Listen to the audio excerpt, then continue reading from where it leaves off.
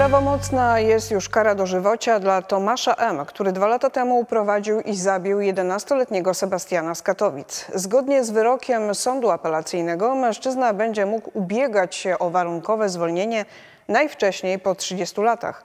Później trafi na terapię w zamkniętym zakładzie psychiatrycznym.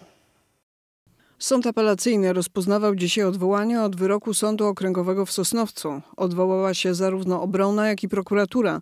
Z uwagi na charakter sprawy jawna była jedynie sentencja wyroku.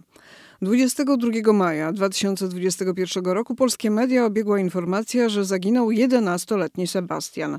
Chłopiec wyszedł na plac zabaw w Katowicach i miał wrócić do domu. Nie wrócił. Następnego dnia policja trafiła na niepokojący trop.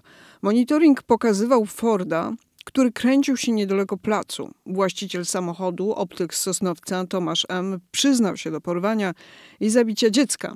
Ciało Sebastiana znaleziono na budowie w Sosnowcu. Jak zeznał Tomasz M., przewiózł chłopca z Katowic do Sosnowca samochodem, następnie przetrzymywał w różnych lokalizacjach. Ostatecznie zamordował dziecko i porzucił jego ciało. Wyniki sekcji zwłok wykazały, że bezpośrednią przyczyną śmierci było uduszenie.